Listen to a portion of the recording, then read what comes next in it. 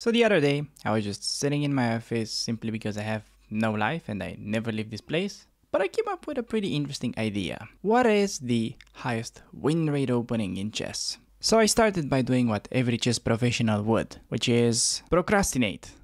But then I came back with a plan. So for the first step, we need to access all the statistics about chess.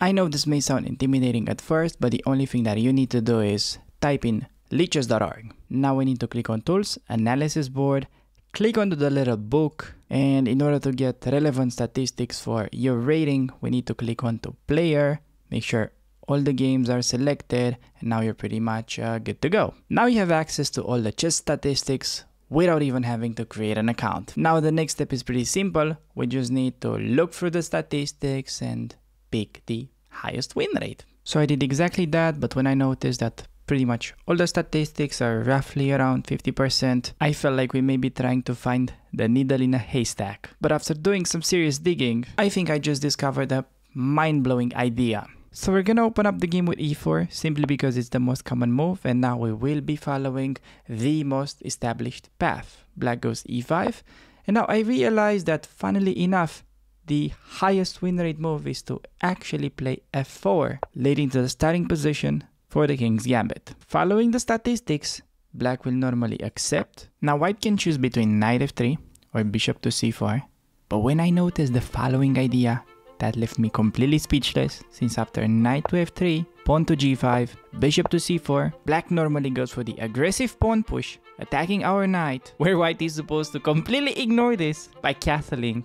And after pawn takes on f3, queen takes on f3, threatening to take, and then put pressure on f7, will generally force them to play the move queen to f6, where instead of following the most common move, which seems to be pawn to c3, I recommend you go for the aggressive e5, already securing a win rate of uh, 59%. Now it is not completely obvious why uh, white is sacrificing this pawn, since rook e1 trapping the enemy queen is not available. But here it's where the tricky part comes in because we're gonna go bishop takes on f7 followed by pawn to d4, leading to some of the most fascinating variations that I have ever seen.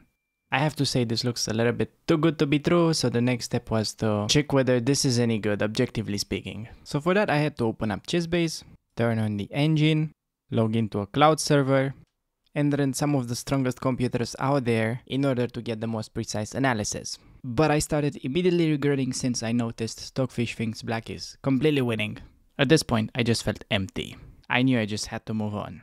So I had one last idea left. I tried understanding why black is winning and whether any human can recreate this. And the moves did not seem intuitive at all. They are supposed to find the move queen to f5. And not only that, after bishop takes on f4, knight f6, and now the very tricky queen to e2, creating a monster threat of bishop to e5, taking advantage of the pin. According to Stockfish, black needs to sacrifice a full rook by playing the move queen to g4, simply ignoring takes, takes, bishop to e5, discovery, king to g8, and then we just get to take the rook. Please notice that they are unable to take the bishop because white is completely winning after rook f8 and rook c8. So instead, black just needs to play around the bishop for a little bit with a rather complicated position in my opinion. In fact, if you ever get somebody playing queen to f5 against you, they are more likely that instead of queen to g4 sacrificing the rook, they would try to play the more cautious queen to e6, where after bishop to e5, bishop g7, knight to c3 followed by knight to e4 creating multiple threats where it is at least not worse while keeping a dangerous attack against the enemy king. Maybe this is not the end of the world after all. But what I find to be even more fascinating is that if we go back, instead of uh, queen to f5 which they seem to play around only 20% according to the statistics, they will more often go for queen takes on d4, playing the greedy approach which can immediately backfire. Take a look into this variation. We're gonna be blocking the check by gaining a tempo with bishop to e3 saying hello to the enemy queen, highlighting the fact that they're unable to take because hello, there is a pin, white is winning. And instead, they will generally go back with the queen onto f6. Now, after queen to f6, white is getting an overwhelming initiative, starting with knight to c3, creating a monster threat of landing the knight in the center. Please notice that the bishop is still immortal, since that would allow a check on any square, followed by rook capturing the enemy queen. So instead of this, c6 would be smarter, but after knight e4, notice that the enemy queen is running out of squares. Okay, like they really need to keep defense over the f4 pawn. Playing a careless move such as queen takes on b2 would be similar to resignation after queen takes on f4, picking up the f8 bishop next. So instead of this, better would be queen to f5 where feel free to pause the video. White has a completely crushing move and it is not very often that we use pawns in the attack and here g4 seals the deal, deflecting the enemy queen, queen e5, loses after bishop takes on f4, followed by some deadly discoveries. And notice that if you go for the en passant, well, the queen remains undefended, so that wouldn't help either. Therefore, after the move pawn to g4, white is completely winning as queen takes on f4, followed by picking up the bishop is unstoppable. Not too shabby. Now, one last trick where people seem to lose incredibly fast is that uh, after the stunning bishop to e3, they would even go for the greedy queen takes on b2, immediately losing after queen takes on f4 check. Please notice that blocking with the queen would get you on the same nasty file, and that is simply a move such as queen to c4 check, and then picking up the queen. And uh, nor knight f6 helps, because after the simple bishop to d4, defending the rook by the x-rays, attacking the enemy queen, attacking the enemy knight, white is completely winning. So to sum things up, is this gambit slightly dubious? Well, we can both agree that uh, it is very risky, but as the statistics uh, show up, it is completely worth it. And it seems to be one of those very good scenarios where we just have to ignore what the computer says. So there you go.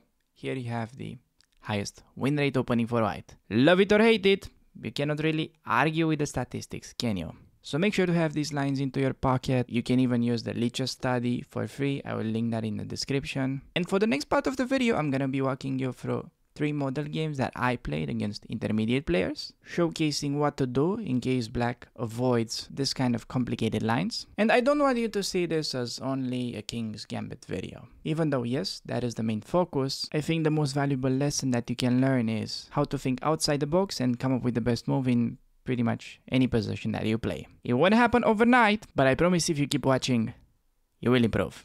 Right, everybody, managed to get another white game. Let's open it up with uh, e4 and uh, all right, time to go for the uh, King's Gambit. And uh, let's see if opponent is gonna be surprised by this at all or not. This far, we see the uh, accepted variation. Just gonna be playing uh, knight f3. Important to be aware of this check that could potentially just be a pain in the ass. So uh, I'd much rather not allow it. And uh, okay, we see the knight uh, developing to c6. As candidate moves, I got d4, I got bishop c4. Um, yeah, I think we will start with d4. Just threatening to take, and uh, only critical move is now g5. He plays the move d5 though, which actually, if you are playing in this rating range, uh, I did a little bit of uh, study before uh, making this video and I realized that this is super common uh, according to the statistics, which, uh, hey, the good news is that this is just a bad move because you can take. Now, the main reason why taking is so kind of like devastating is that knight to c3 is pretty much forcing the enemy queen to leave immediately. Best move would be bishop to b4, but yet again, quite often they check, which is terrible. Or they go back.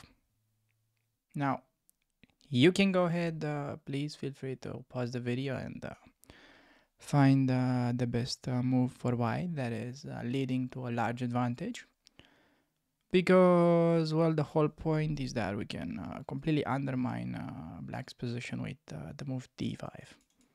I do believe at this point white has a crashing position as early as move 7, so facing 1600 rated opponent in rapid, not too shabby.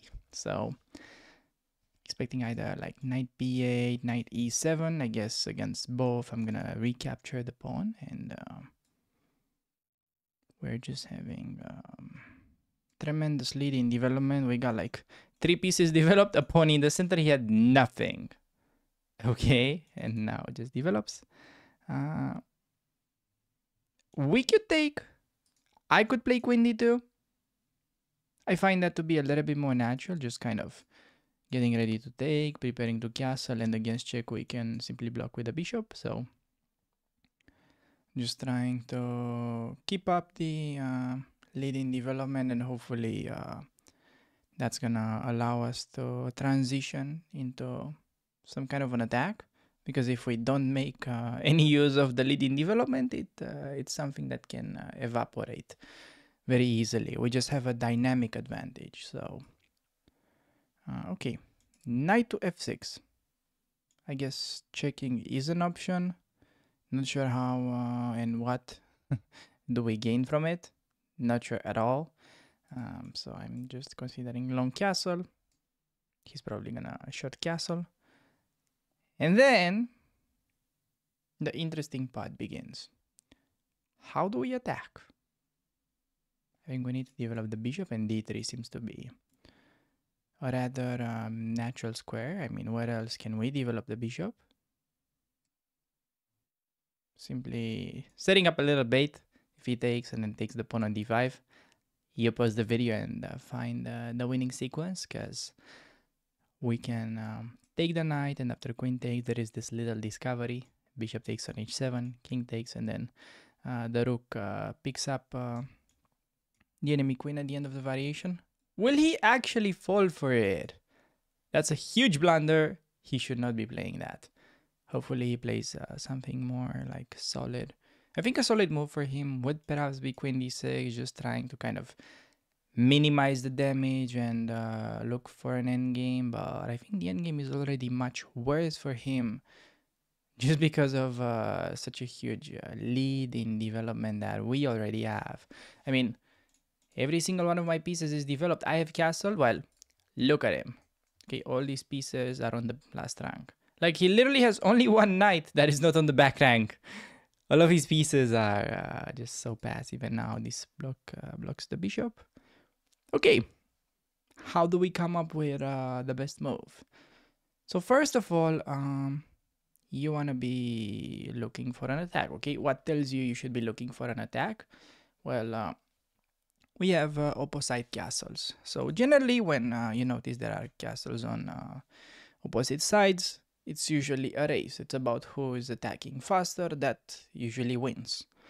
Now we can either start uh, attacking with pieces or with pawns. Like for instance, attack by pieces would be knight g5 and then maybe queen h4. Notice that he could sort of easily dodge that with h6, so I'm not sure how interesting that is and uh, we can uh, sort of postpone that for the moment and then uh, the remaining moves are uh, okay attacking with pawns.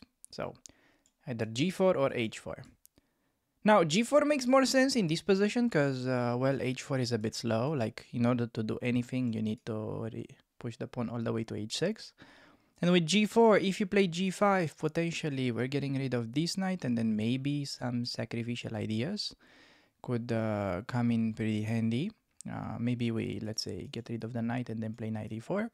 So that's uh, a move that's very tempting for, uh, for us. Additionally, we could play a central move, like rook e1, just rook on the open file and try to play simple chess. Besides that, okay, only kind of last sensible candidate in the position, actually I just saw another one besides that, but d6. I would slightly consider d6, maybe we can open it up in such fashion that uh, we can just uh, brutalize him in the center. But then I realized, okay, c7 square kind of likes uh, protection, don't you feel like? And I'm just like having a quick glance over knight b5. Now the issue with knight b5 is that it leaves the pawn undefended and he can take with a knight. And at first this would look like a no-no. Like he's attacking our queen, he's defending c7, right? But after knight b5, knight takes on d5. How about bishop takes on h7? King takes on h7 and then the rook takes on d5. Now, pawns are even, we're threatening to take. And he could potentially defend that by playing c6, which is apparently a double attack.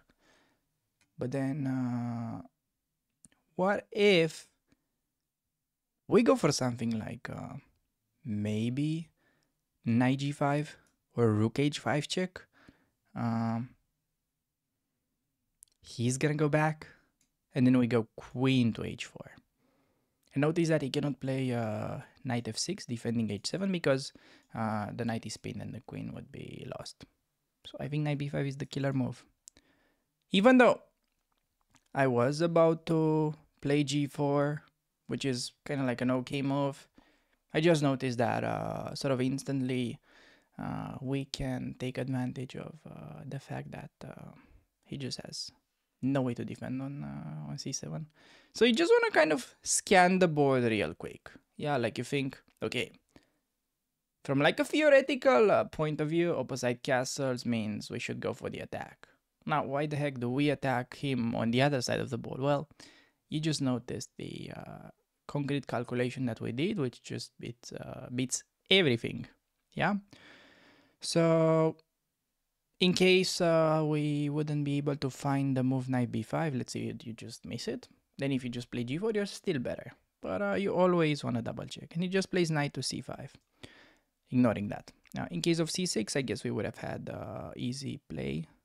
Probably takes, and then infiltrate with the knight. I think that would have uh, been a big advantage. And uh, knight to c5. Okay, just gonna follow it up uh, as we wanted. Can I go for any tricks, like let's say trying to get rid of my queen?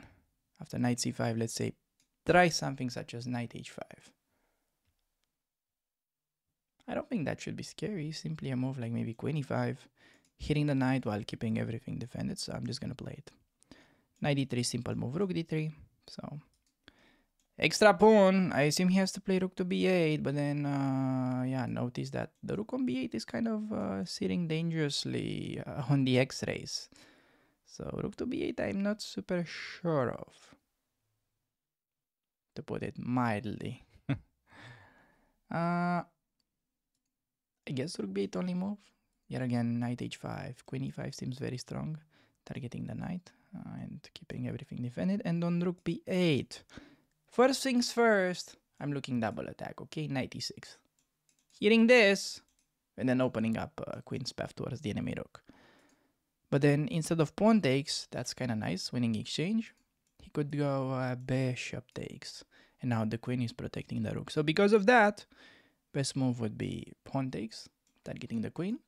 Let's say the queen has to move somewhere. Let's just say a5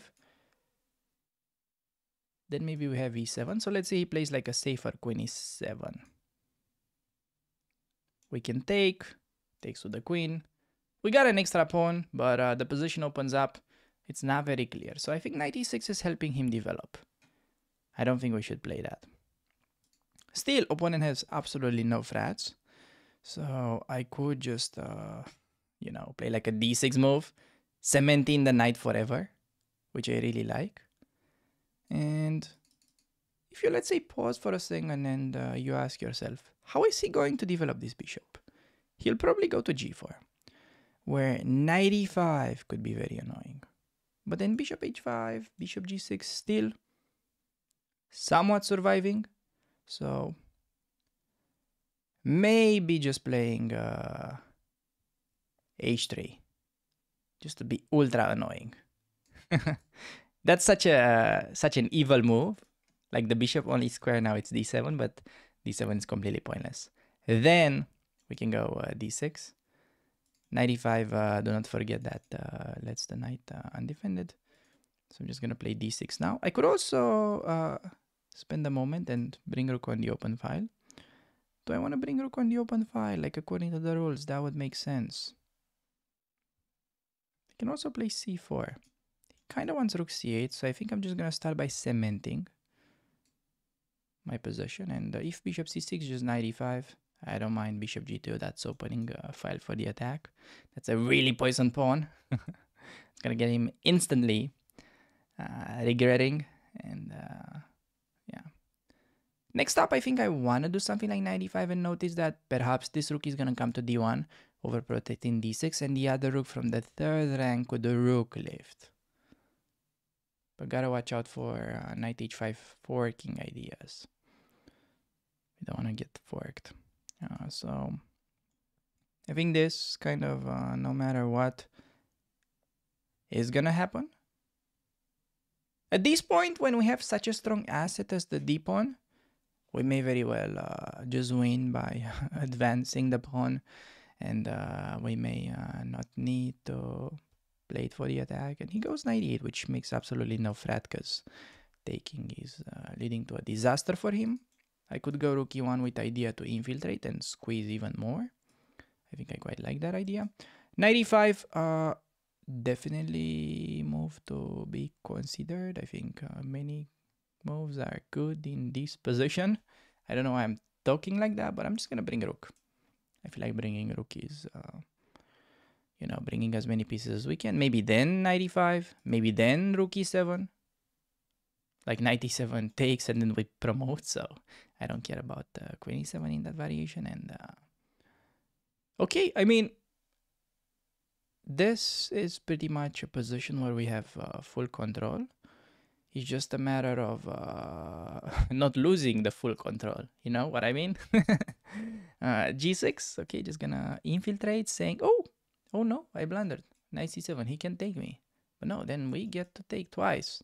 And we promote. So not only we win back the rook, we're winning two rooks. So uh, two rooks is uh, double than one rook.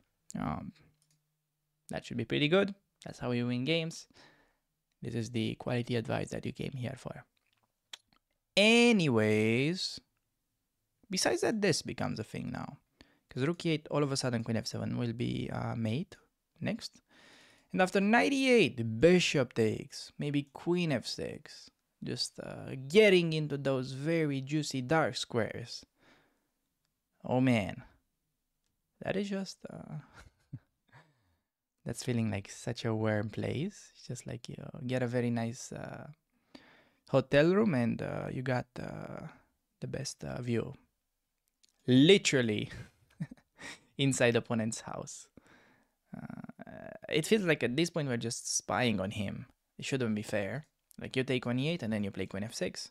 Imagine a knight lands on h6. That is just brutal. Also, perhaps even stronger, we take and then we play queen h6 creating deadly threat of knight g5. Mating on h7 because f6 is never a thing because that opens up the 7th. And once the 7th rank is open, then queen g7 uh, or queen h7 is a thing. So yeah, I think he's uh, pretty much uh, lacking any counterplay that I can see at least. Uh, but uh, he'll definitely try to come up with something. And okay, bishop to f5. So counterattack. Can we sack queen? No. Can we ignore and play queen h6? Oh, I think we have to go for that. So queen h6, he takes. I'm gonna go knight g5, and then he's gonna go knight f6, defending. But then I'm gonna go knight d5, deflecting. Wow, that's so beautiful. Also, bishop takes on d3, knight takes on e8. I think kind of ends the game regardless, but it's even beautiful to go Bishop d3. Oh, you know what? There's something even better. This is so good. Bishop takes on d3. I found even a prettier win. This is just ridiculous. Opponent may report me for cheating if we play the next move. So this was pretty enough. Knight f6, 95. But I'm looking even 96 right away. How do you defend? Queen takes on f8. Huge threat. Move the knight. Get mated on g7. No checks. Now, knight e6, he could go queen e7, but then after pawn takes, I'm threatening to promote and... Ah, this is too good. This is just too good. Look at this. Look at this beauty. If pawn takes, that's a mate. If queen takes, we take. And then we promote with mate.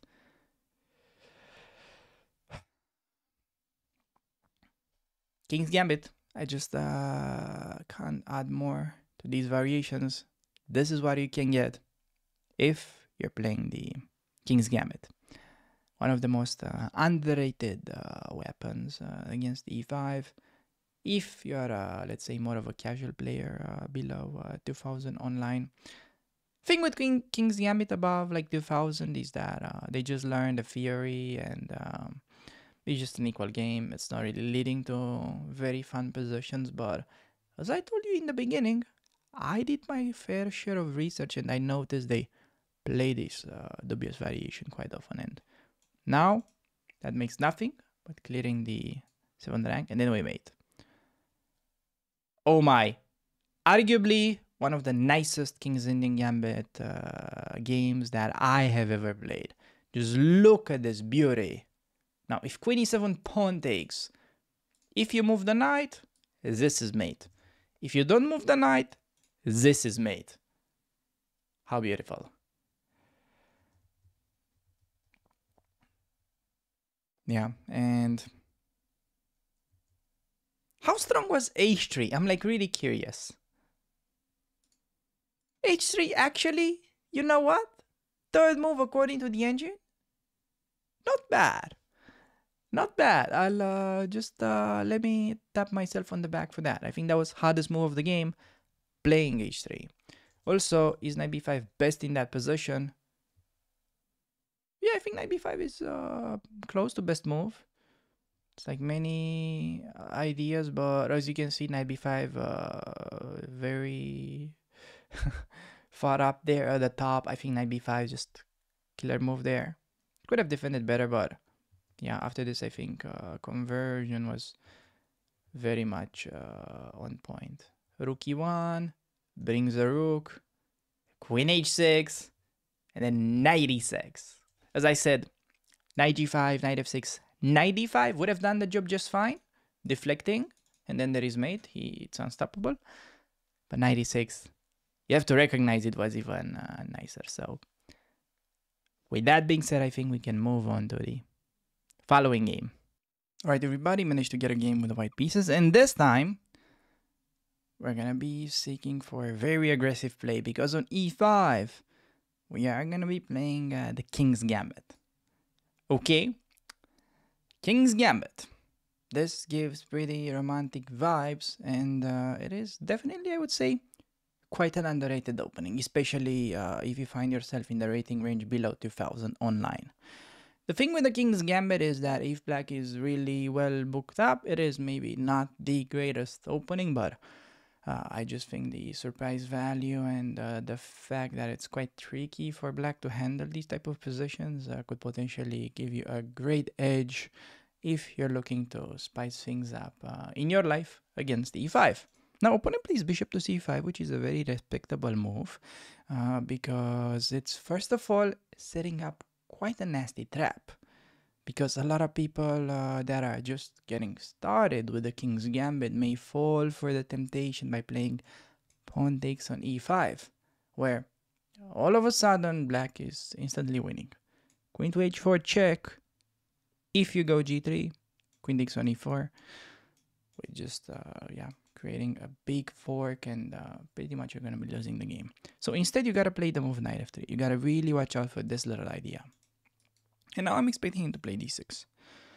And after he plays d6, uh, I do believe uh, we have a choice. There is uh, c3 as a potential move in this position, preparing d4. We could also play uh, the move bishop c4 and then uh, d3. I could also play uh, a move such as knight to c3.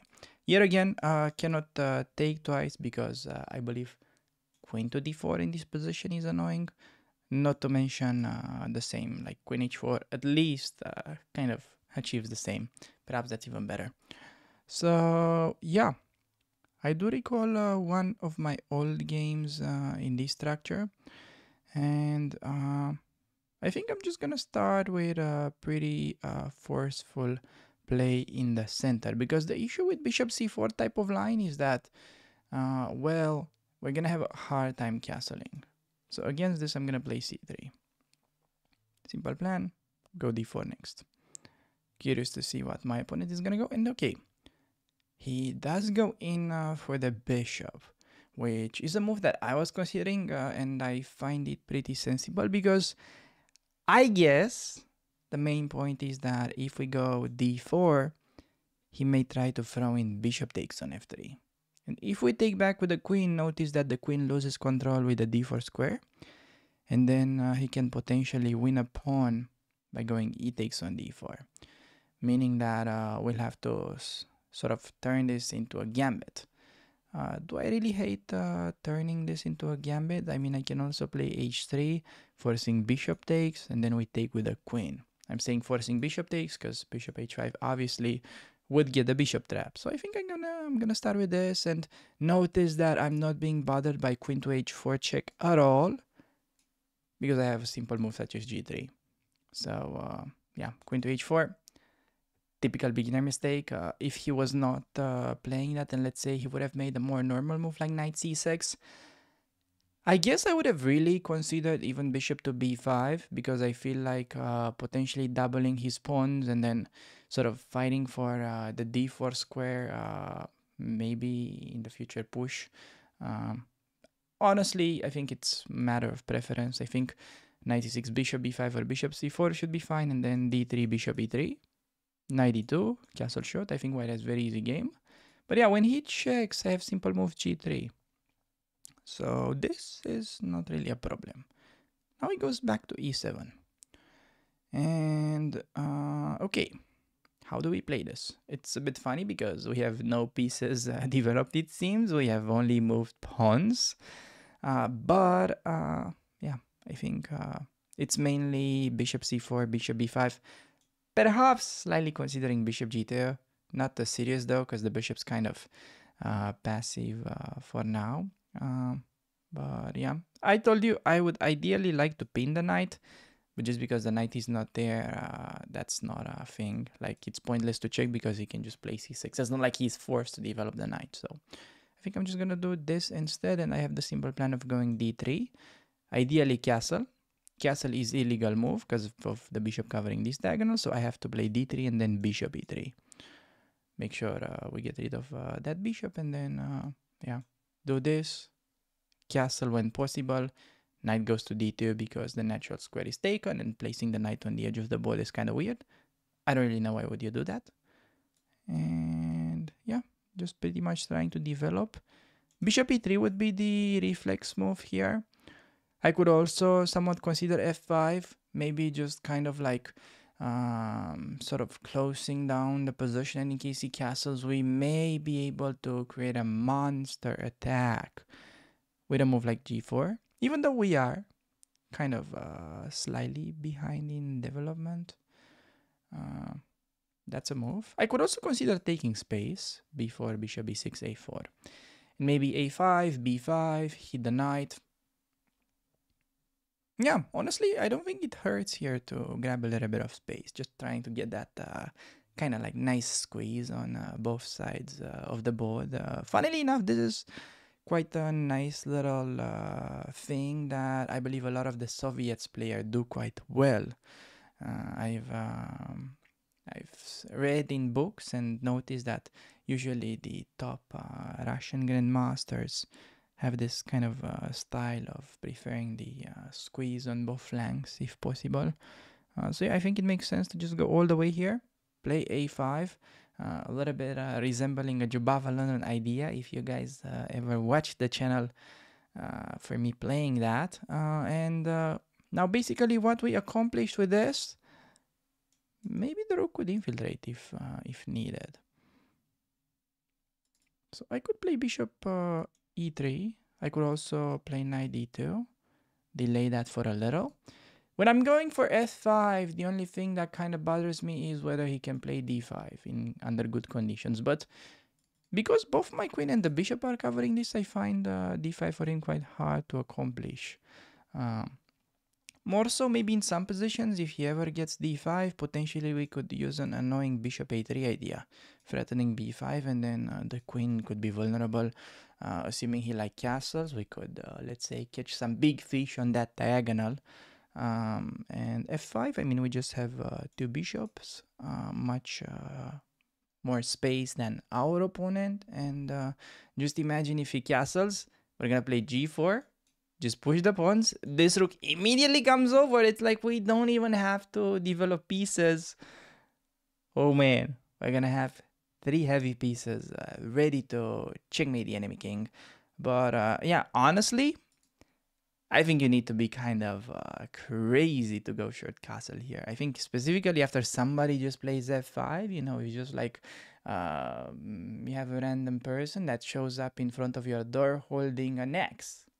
What are you gonna do? Like, open the door, say hello. Are you coming here for Halloween? No. I'm talking about specifically not Halloween times, and he goes there. Okay, interesting. Interesting. I'm just gonna go g4 right away. Bishop g5, interesting to pin. Like, for instance, if he tries rook d8 to desperately go d5, maybe now this is uh, very sensible, just to make it harder for him to break. Uh, even though d5 still I can take, perhaps an idea for him could be e4 afterwards. So yeah, I'm gonna go bishop g5, just a little bit of prophylaxis. Uh, kind of true that I could have gone g5 and uh, I'm sure that was very strong as well. I think both moves are good. I just wanted to get in a little bit of development. Uh, I think in hindsight, perhaps g5 was a little bit better, but uh, yeah, both are good. And b5, we can go en passant and then take, but I don't want to make it like a queenside battle. I want to still uh, very much utilize the same idea. So, um, yeah, just do that. Notice that I'm delaying this knight because knight e2 will be kind of blockading rook's path. So the, the point is now after bishop g5, he can no longer do d5 because I have simple move. Not ed because maybe e4 can get messy, but I'm literally gonna take it with the bishop. So he cannot take now because of the pin. And uh, yeah, he goes knight b8. I'm gonna go uh, rook to a2, just preparing to get the rook over. Uh, knight b8 is quite logical, uh, preparing to do this and get some protection, but uh, just look at all of these heavy pieces. Look how nicely we have uh, lined up the cannons. Man, imagine we literally have like three very well trained snipers ready to exploit any weakness of our opponent. Uh, oh man, that is actually, without exaggeration, I do believe this is one of the nicest kind of pictures that I've seen in a while. Now the only thing that I'm uh, kind of uh, bothered by is, can he actually push?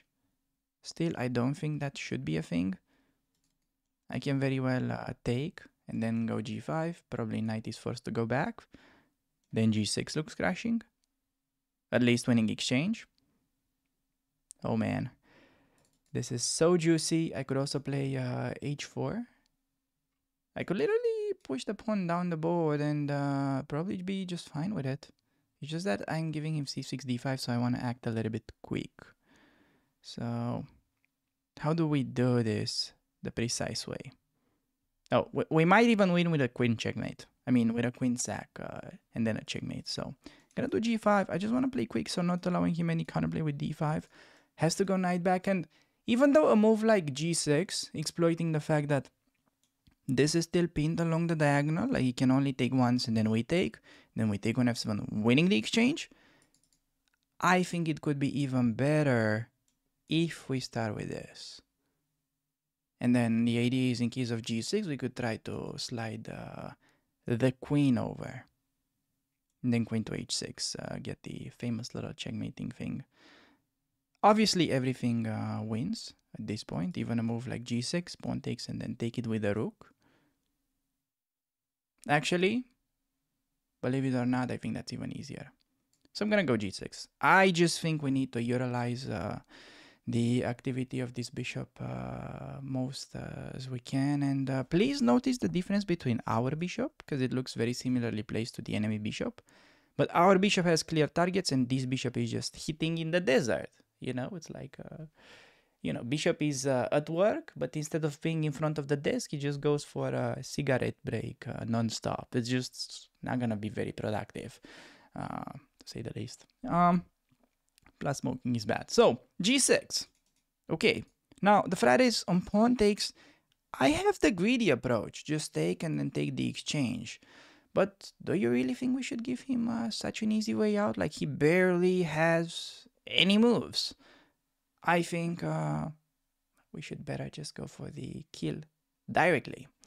So after pawn takes, I'm mainly considering taking with the rook. Okay, rook takes on g6. And that is creating an immediate threat of perhaps rook takes on g7. Haven't calculated that quite yet, but I think it uh, potentially works. And he plays a good move, knight f6. Yet again, eyeballing uh, d5. Now I can take, he takes with the rook, and he has a pin. Interesting. I can do queen g3. I think that's actually quite deadly. Queen g3, watch out. If pawn takes, we take with the queen, he cannot defend g7. And wow. Double threat of take and then checkmate. Good luck, good luck uh, stopping that buddy because uh, you're not gonna be able to. And what is even more hilarious about this game, look at the b1 knight. This is a happy knight, okay? And uh, he plays h6, okay, very logical. He's thinking, all right, I'm gonna take. And my opponent is literally thinking uh, this, okay, it's maybe like a little bit uh, uncomfortable position. Now he's gonna take with a bishop, I'm gonna take and I'm gonna defend checkmate, right? And I guess just survive. Um, but no, you don't have to take because when the rook is uh, pinned, this means uh, the rook is actually completely pointless. So you can immediately serve the checkmate. All right, voila, queen takes on g7. And we get a very nice mate. And please watch out for the MVP of this game. Just look at this rook. Travel all the way from the A file in the opening to g2. Man, imagine like your best friend is uh, living on a different continent and uh, you immediately need him for like your wedding or something that happens uh, i don't know i just need you tomorrow or in a week. Yeah could be like a wedding. You think uh, weddings are uh, planned like a year in advance? Well uh, you've never been to a romanian wedding. So uh, here what pretty much made this possible is uh, the fact that throughout this whole time, we had uh, very good control over d5 because uh, whenever we are attacking on the side, opponent should be looking for a counter strike in the center. If there is no uh, counter strike in the center, sorry to say, but he will usually have a very bad position. You know what? I take uh, the apologies back. I'm happy that he has a bad position. So, uh, yeah, that is just uh, how you can go ahead and uh, try to squeeze this bishop to c5 to recap. Please do not fall for f takes on e5 because this is just like so trash. You're instantly resigning after queen h4 g3 and then queen e4 and as well make sure to stay away from uh, taking the other pawn yet because of the same motive and yeah c3 preparing d4 and uh, after this bishop g4 h3 uh, white is getting uh, quite nice play uh, with the bishop pair. So with that being said, I think we can move on to the following game. Right, everybody, managed to find another white game. Gonna open up with uh, e4. And hopefully, we're gonna be getting a King's Gambit. The opponent offers a draw. Wait, are you kidding me? Do you think we're gonna be accepting draws just like that? No. Let's see what uh, my opponent has in mind against uh, our little weapon. And okay, we're getting the most common move. We're getting the accepted variation. Normally, here black has a choice between takes. Most often it's takes. Bishop out, maybe knight out, and uh, d5. And occasionally, they could sometimes just decline the gambit by playing d6. These are pretty much all the moves, and after takes queen h4 uh, is a little bit of an annoying threat.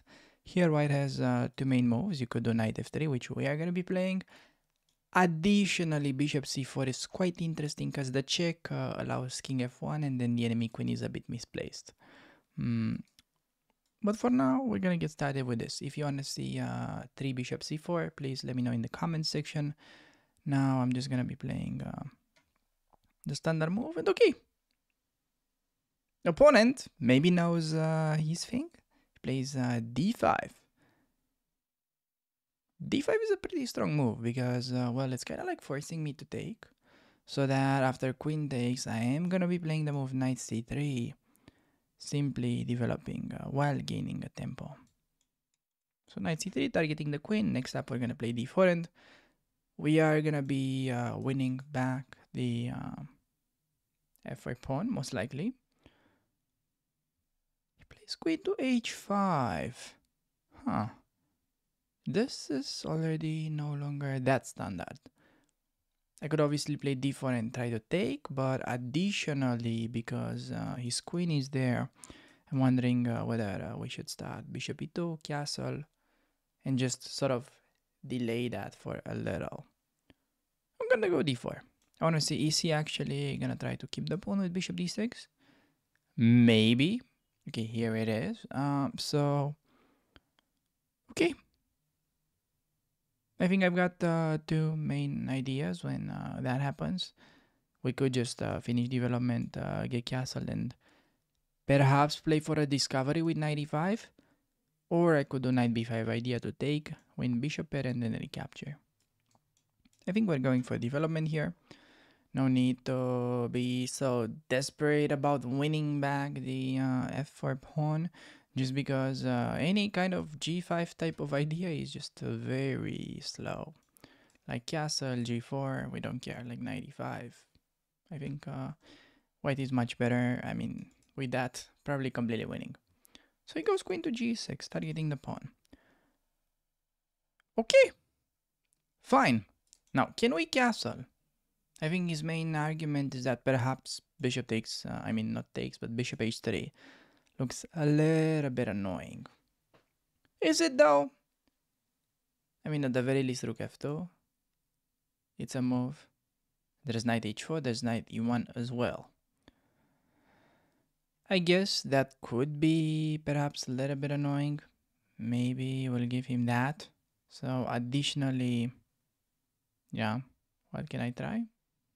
I don't think I can really try many things since castling is such a natural move that it kind of needs to be played. And uh, here we see the bishop landing.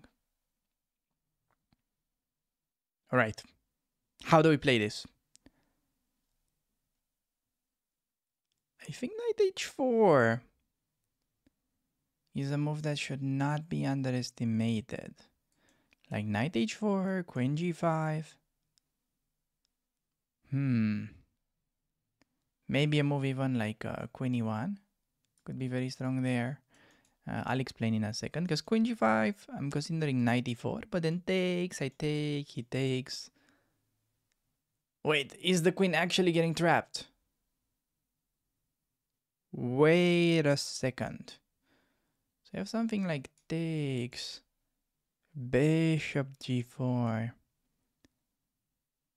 queen h6 Bishop takes on f4. I guess only square for the queen is g6. But then bishop h5. The queen has to move. I think that's huge trouble. Gonna go here. Notice how the knight nicely covers the mate. The knight uh, does move backwards. Occasionally, at least. So, gonna be doing this and uh, I think he's gonna be taking, and I'm just gonna be taking his bishop, and uh, I think he's in a very dangerous position. Just because even if he does not take what it seems to be the poison pawn on h3, I think we have a very big and annoying threat to play knight takes, followed by rook takes on f4 in that position. And his queen is uh, immediately getting under pressure. So gonna take. Now, is he gonna bite? That's the question. They always bite. But uh, hey, I'm not afraid. I'm gonna bite him back. So, uh, other than that, yeah, can't really come up with much of an alternative. And you wanna really watch out for the move order. Because knight takes on d6 is vital. Simply because bishop g4, queen h6, knight takes on d6, now his queen suddenly gets a square. So you gotta do that, force him take back with a pawn, and then bishop to g4 becomes, uh, I think, quite problematic. Now, I have uh, mainly considered queen h6. Now, it could be perhaps more interesting for him to go queen to h4 just to not get uh, immediately targeted. So yeah, our main line that we calculated went queen h6, bishop f4, queen g6 and that. But on queen h4, an idea that I haven't mentioned, but it was there even in the past. Just imagine bishop to c8 and I have no idea how he's willing to defend that. I mean, queen to e7 loses the queen. Hello, rook e1. Uh, good morning. King and queen under the same uh, file with an open file. And uh, bishop c8, he most likely has to move the knight. It just looks very ugly, you know. Additionally, I can take with the rook, which just kind of creates a threat immediately to discover, uh, give a discovery check and then pick up the queen. If I take with the rook, he probably has to go back. But then we have a double attack, queen f3. Wait a second. I feel like there is uh, there is huge potential. Just huge potential. Yeah, I think I'm I'm taking with the rook. Taking with the bishop, it feels like you know you're also kind of developing at the same time. Honestly, this is a good move too, just because it's threatening to take. I'm just gonna keep it very casual. not gonna be playing for cheap tricks. I think it's way more important to prioritize development. Like rook takes on f4 was perhaps leading to some fancy ideas, but uh, I want to build up your chess foundation in uh, a very solid uh, manner. You know, think of it as you're building a house. You know, you don't want to get your house destroyed the first time it uh, starts to rain, especially if you live uh, in the UK. So, opponent plays the move knight to f6, targeting the bishop. So the bishop is under attack. Now I could start uh, with a counter threat, queen e2, and he does uh, seem to be losing the right to castle. Pretty much losing uh, the right of having a normal life again after that move. Which, hey, as bad as it may sound, it looks very tempting. Do I want to do that? I could also give him a check with a rook. If I check him with a rook, uh, Yet king f8 allowing that, I think it's a disaster. So he mainly has to go to d8. And then I do still have to solve the issue of the bishop. The problem is that the queen comes there with a check always. So still kind of uh, considering my options. So I think perhaps starting bishop to c8 I mean, if he castles bishop to x on b7, that just gives us free exchange. I would like to somehow uh, combine uh, the best of uh, both worlds and uh, keep up the initiative. But I think we have to sort of uh, settle here on bishop c8. Yeah. I think, you know, important uh, to know when to slow down a little not to get uh, ultra greedy. It's time to finally cash in. You know, it's just like uh, in the stock market. Your stock is at an uh, all-time high. You may very well try to defend yourself uh, from a big crash. So we do that, and he's forced to castle. If he was not castling, uh, allowing uh, yet again a check here, followed by bishop b7, it's a disaster for him. So yeah, just gonna cash in, carry on with my life. I mean, we are winning pretty much a rook and a pawn for a piece, so what's not to like? Uh, I'm just gonna take as knight g4 is making absolutely no threat since hello, bishop move backwards. Not only knights. So yeah, g5. What a desperation sign. Yeah, we can take a moment for that. I'm just gonna play bishop to g3 slide back, hit a queen. Now, one of the very nice things about bishops is that compared to knights, bishops are long range pieces and look at the bishop. Look at this very nice retreating move. Targeting the queen, he can only go uh, there. But I'm gonna be like, okay, hello Mr. Knight. I noticed there's a little bit of a pin ongoing.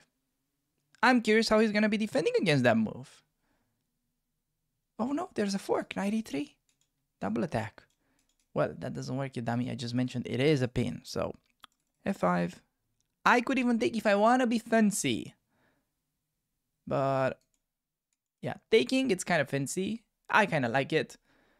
I'm just gonna go for it because why the fuck not? Uh, Rook takes on f5 HG, little double attack, winning it all back.